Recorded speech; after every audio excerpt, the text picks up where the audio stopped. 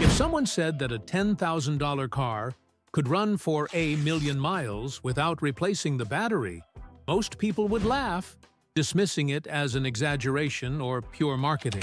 But when this promise comes directly from Elon Musk's mouth, the world stops and listens. And it wasn't a casual comment. During a presentation, Musk was emphatic. The Tesla Model 2, the brand's most affordable vehicle, is being built with each component Designed to last over a million miles, it's not just the engine or the frame, the battery also comes into play. And that's exactly where the story starts to get surreal. Imagine running more than 3 million kilometers with the same set of batteries. This is possible thanks to a new type of cell called 4680 Gen 2, which underwent extreme laboratory tests. According to experts, more than 13,000 full charge cycles, which equates to decades of continuous use. And even after all this time, the system still maintains more than 90% of original capacity for anyone who drives every day. This means never having to worry about battery replacements again. And maybe even heavy maintenance. The battery's durability is even more impressive when we look at the long-term performance data. Under real-world conditions, including varying climates and intense driving habits, testing has shown the system to be resilient to extreme temperatures and incomplete charging cycles and even at constant acceleration. This completely changes the way people think about the lifespan of a vehicle. If the battery was previously the Achilles heel of electric cars, now it can become the most reliable component of the entire system.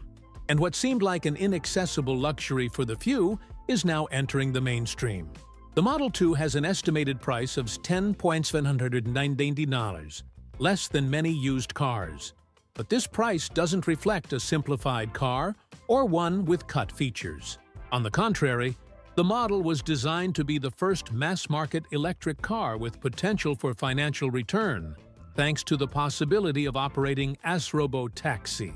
In other words, when the owner isn't using the car, it can run on its own, generating revenue. And with a battery that lasts decades, this becomes a long-term investment. The logic behind this is simple, but brilliant. If the biggest cost of an electric car is the battery, and it now practically never needs to be replaced, the entire business model changes. Instead of thinking about depreciation, maintenance, or resale, the owner begins to calculate how long it will take for the car to pay for itself. It's a complete reversal in the concept of ownership. The car, once a liability and expensive, now functions as income-generating machine, almost like a rental property that moves through the streets while you sleep. This also creates a new layer of competitiveness in the market. Manufacturers still stuck with conventional battery logic will be forced to rethink their entire vehicle designs, because consumers once exposed to the idea of a car that pays for itself and doesn't require expensive maintenance, will not accept anything less than that. The pressure now is not just to innovate in appearance or autonomy, but in longevity and total cost of ownership. And in that regard, Tesla is 10 steps ahead. This shift also calls into question what sustainability means. By extending the car's lifespan to a million miles, Tesla is drastically reducing environmental impact that would come with the production and disposal of new batteries. This not only benefits the environment but also strengthens the company's image among an increasingly conscious public. And in this scenario, the Model 2 isn't just a car, it's a powerful idea that an electric future can be affordable, accessible, and durable all at once. When we talk about a battery, Many people just imagine a heavy block hidden in the floor of the car. But the new 46880 Gen 2 cell Tesla's battery is practically a living creature, designed not only to store energy, but also to handle heat, extreme loads, wear and tear, and even simplify the entire vehicle structure. The main change begins with size. Engineers increase the cell height from 80 mm to 90 mm, it may seem small at first glance, but this small adjustment generates a gain in up to 20% in internal volume.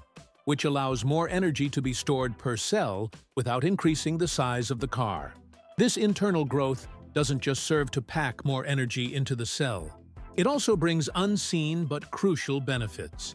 For example, by using fewer cells to make up the same battery pack, Tesla reduces connection and soldering points, which reduces the chances of electrical failures. It's like putting together a puzzle with fewer pieces, simpler, faster, and less likely to go wrong. This has a direct impact on production costs, assembly time, and of course, the durability of the system as a whole. Another problem the new format helps solve is heat.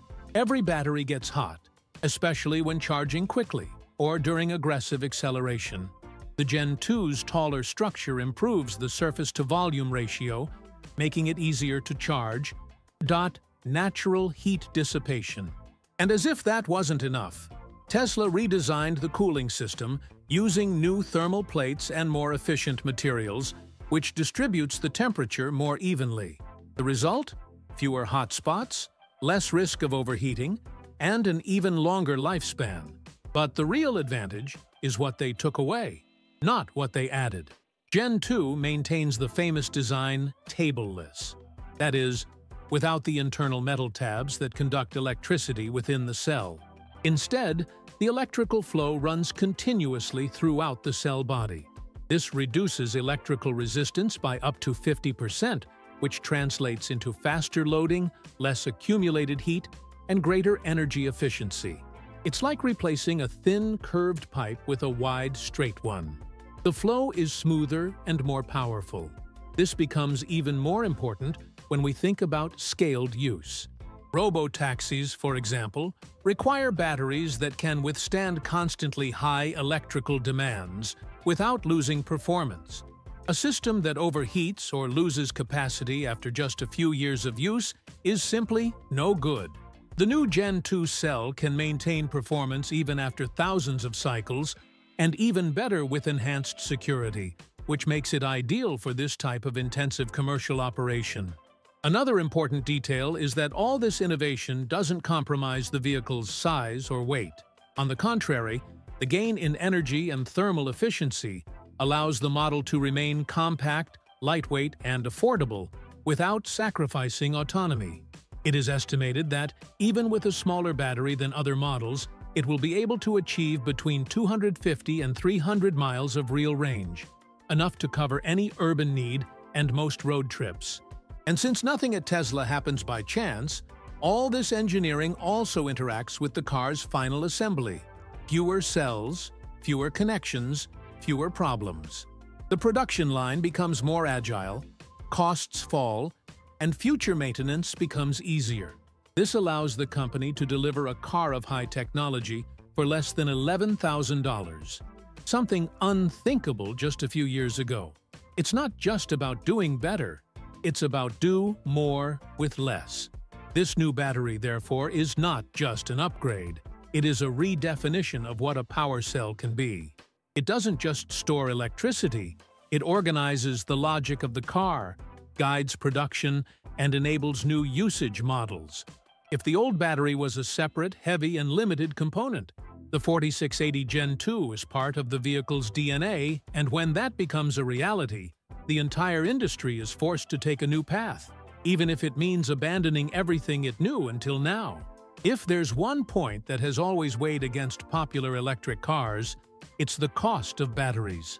Most of the most efficient cells use expensive metals like nickel and cobalt, which, in addition to being price-inflated, carry a heavy burden of environmental and ethical problems. To get around this, Tesla made a bold choice. LFP cells, lithium iron phosphate, in the Model 2.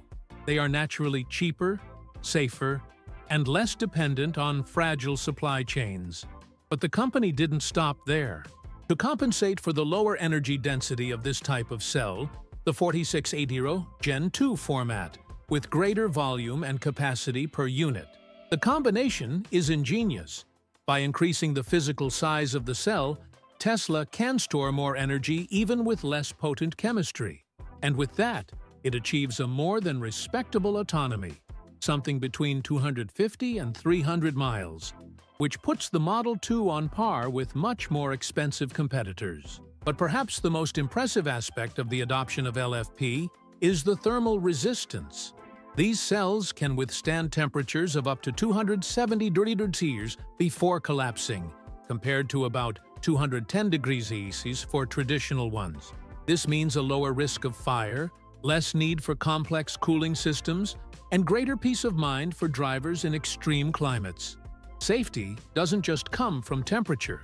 The LFP also features a more stable chemistry, which reduces the chances of uncontrolled reactions in the event of a collision or electrical failure. For a car that can transform into a robo-taxi, this is essential. After all, it could be operating without a driver and with passengers on board. Tesla would need to ensure that any failure would have minimal impact, and choosing LFP helps exactly with that. But anyone who thinks this sacrifices performance is mistaken. By applying the dry electrode technology inherited from Maxwell Technologies, Tesla took a leap forward in the efficiency of this chemistry. The dry electrode process eliminates the use of toxic solvents, reduces energy consumption in production by up to 40%, and also allows the creation of thicker and more efficient layers of active material within the cell. In practice, this brings LFP performance closer to that of nickel-cobalt-based batteries, but at a much lower cost. The result is a balance that's very rare in the industry. Low cost, high security, and good performance, all at the same time. And with that, the Model 2 manages to be not only cheap to buy, but also cheap to manufacture. Another relevant point is the environmental aspect. LFP production avoids the extraction of metals associated with human rights violations, such as cobalt, from the Democratic Republic of the Congo.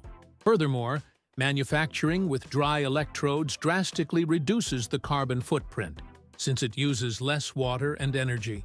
This may seem like a technical detail, but for consumers attentive to company practices, it makes a difference.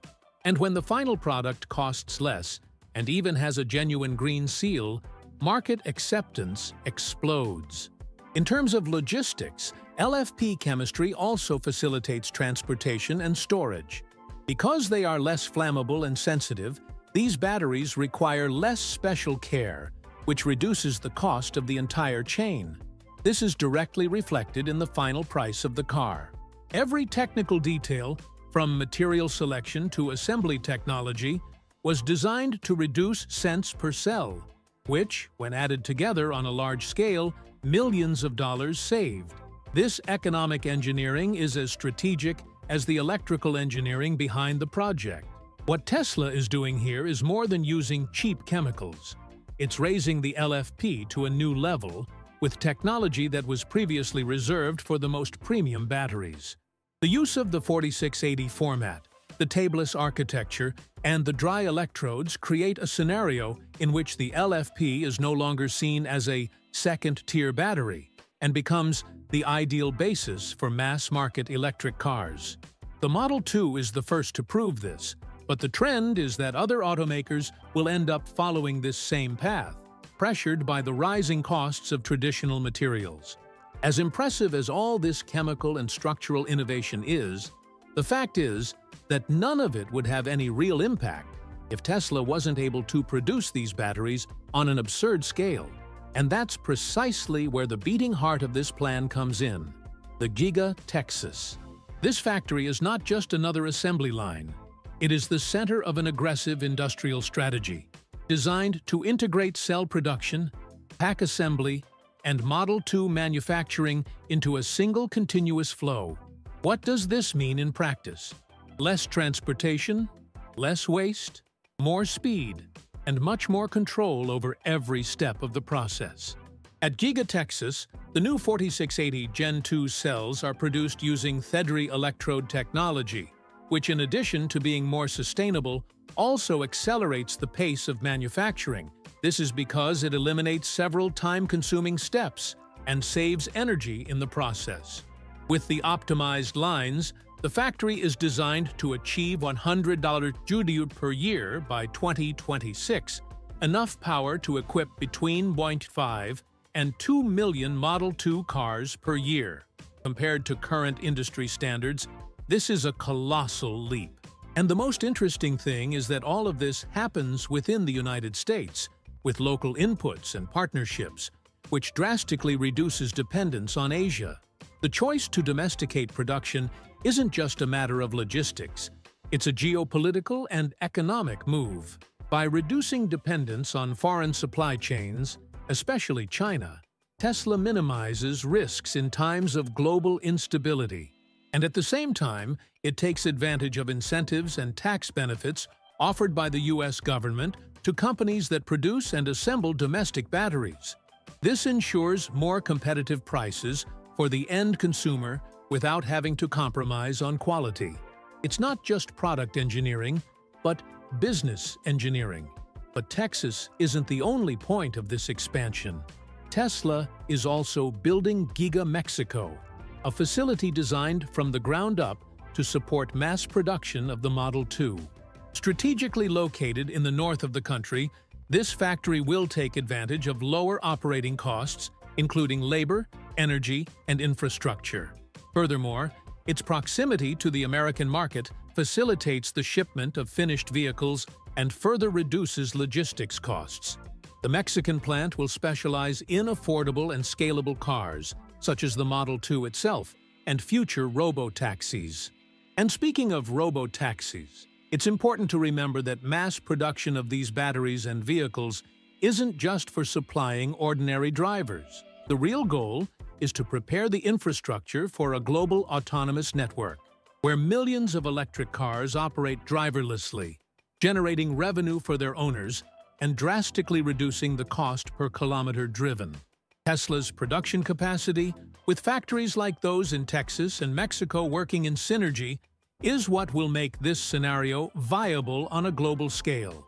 And every cell produced today is a brick in that future. Another interesting point about Giga Texas is its automation. Tesla is investing heavily in state-of-the-art industrial robots, computer vision systems, and real-time control algorithms. This ensures fast, accurate, and scalable production. Less human error, more consistency, and above all, flexibility to quickly change the lineup as new versions of the car or battery are developed. It's an adaptable assembly line, something rare and valuable in the automotive industry. This level of total control allows Tesla to play with something almost no traditional automaker dares dot long-term price predictability. Knowing exactly how much it costs to produce each cell, assemble each vehicle, and deliver each unit, the company can keep prices stable even in times of crisis. This not only attracts consumers, but also scares the competition, which still depends on unstable suppliers, international freight, and complex chains. This is where the Tesla Model 2 stops being just a product and starts to feel like a game changer. The concept of car ownership as we know it today is about to radically change, and the Model 2 is the catalyst for this transformation. It's no longer about buying an asset that depreciates over time. The idea here is that you're acquiring a durable, intelligent, and autonomous machine capable of paying for itself while you work, sleep, or simply stop using it. And all this thanks to the combination of long-lasting battery life, advanced software, and a new business model that revolves around mobility as a service. The proposition is simple, but powerful. You can buy a Model 2 for around $10.799, use when needed, and when not in use, puts you on Tesla's Robo-Taxi network. This means your car will be driving the streets, transporting passengers, and generating revenue. Driverless, fuel-free, and with virtually no maintenance. And as we've seen, with a battery that can last over a million miles, this machine can work for decades, generating recurring revenue, becoming a true financial asset.